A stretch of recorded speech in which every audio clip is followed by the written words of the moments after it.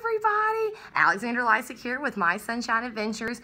It is the best day of the, the month. I'm super excited. We have a brand new nonprofit interview with a new nonprofit that I wasn't familiar with till last week. So I'm really excited. I got to learn all about them and you guys get to too. And as a bunch of business owners, I know you're going to be really wanting to do everything I tell you to. So this is cool.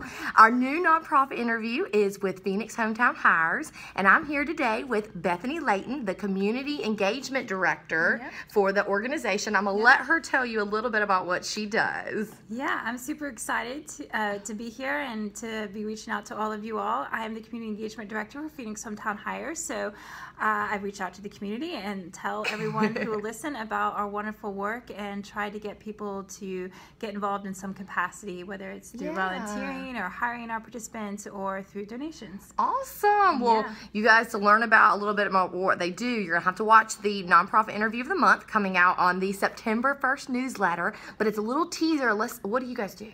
So we work with individuals in the community um, to help them find employment. That's very exciting. And that's something we all need, right? You know, everybody's looking to hire a great employee and get them involved and get and give back to the community. So we're going to explain a little bit about why this is so special and how you can get involved. So make sure you stay tuned to the September 1st newsletter. Are you excited? I'm super excited. Yeah. All right, everybody check it out. September 1st with Phoenix Hometown Hires as our nonprofit interview of the month. Have a great and sunny day. We'll see you then. All right, bye.